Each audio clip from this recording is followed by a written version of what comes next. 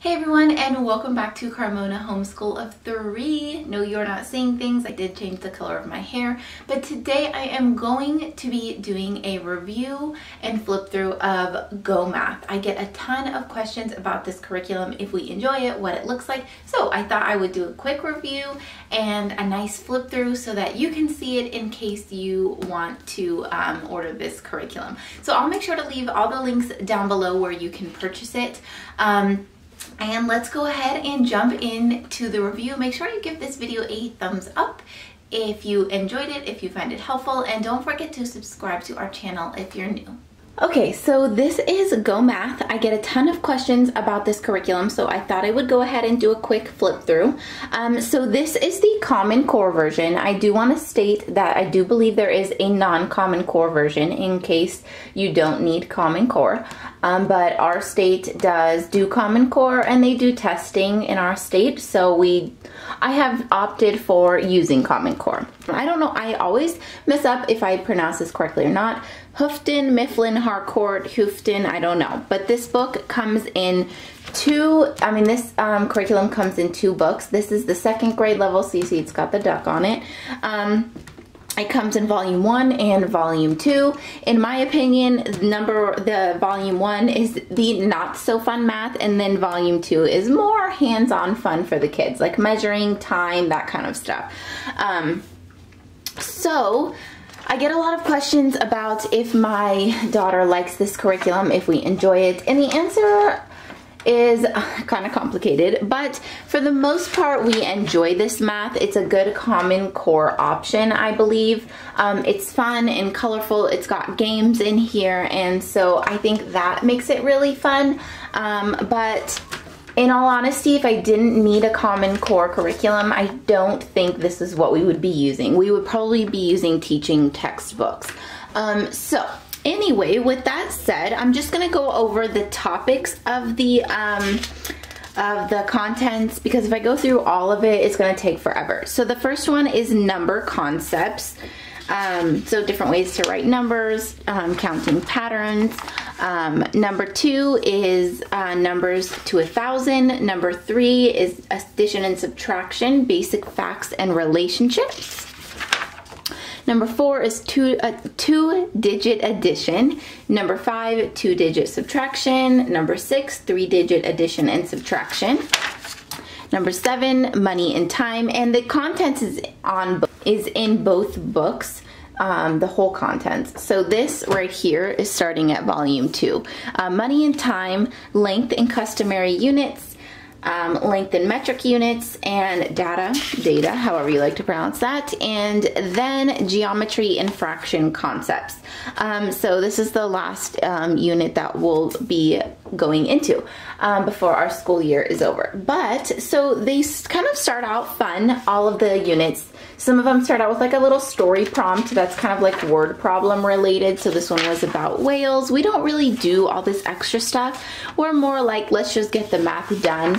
Um, the one thing I do think, like I said, is it's really colorful. It does have these games in the front that you can play with your kiddos if you have the right little um, things that it has you use like these ones you would use those little circle um, like red and yellow clear circle thingies. I don't know what they're called.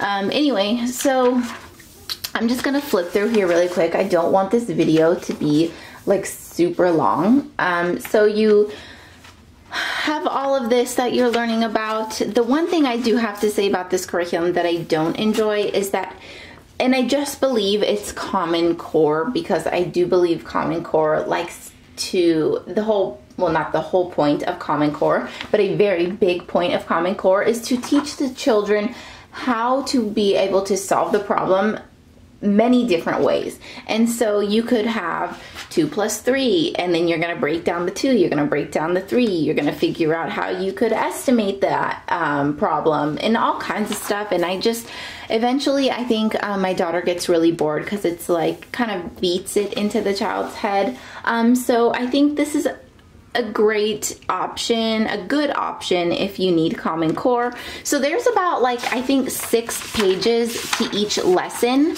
Um, let me show you. So here, let's start with lesson 1.8. So you have the first page here. So one, two, three, four, five, and six. So this is, so you have four of the regular pages and then what they call practice and homework and then um, the lesson check. Now I only um, have my daughter do four pages because it will take forever for her to do six pages. I do think the lessons get a little long, so I cut out two pages of each lesson. Um, and then every couple lessons or every few lessons, about every 10 or so lessons, you have a chapter test, um, which is usually about like 20, 20 questions or so, sometimes even less. Like look, this one only has 11. I don't think I've seen a chapter that has any, I mean a test that has any more than 20 questions. That's the baby in the background, you guys. So anyway, there's about, yeah, four pages, um, six, four to six pages a lesson. Um, and then, uh, yeah, you move on and then you have a chapter test. I do think, like I said, um, I do think it's a pretty good um, little math curriculum if you need Common Core. These blocks were very helpful to have um, doing this unit like the tens cubes or if you just have like the little connector blocks. Um, those were really helpful for Jocelyn to be able to do more hands-on. So I would really suggest getting some of these. Now this curriculum um, the Go Math does come in what they call like a homeschool bundle. I believe you can buy it on like Rainbow Resource or something like that. But it is a lot more expensive and it doesn't come like this. It doesn't come in these two work texts. It comes in a bunch of, I believe each unit is broken down into a tiny little workbook. And then you get, I think, uh, manipulatives and things like that. But the homeschool bundle, I believe, on sale was about $150. Now, I got both of these workbooks um, for 30 bucks. So in my opinion, it's better to just get the work text, saves you a lot of money, and then you can just buy yourself some cubes. I don't know what's um, so great about breaking each unit down into miniature workbooks. I find that that might actually be worse if your child, you know, likes to lose things. So anyways, another little story, and then it also, each chapter also has little vocabulary cards, which we don't use. Like I said, we don't really use any of this stuff, but fun little games. Um, so it's really a fun little curriculum. Again, the only thing I don't like is I do sometimes end up having her um, skip some lessons just because I feel like it's the same thing over and over and over again. And she gets bored with it and then I get frustrated with her because she's frustrated with um, the lessons. So um, there's that. And um, yeah, so let's move on to book three.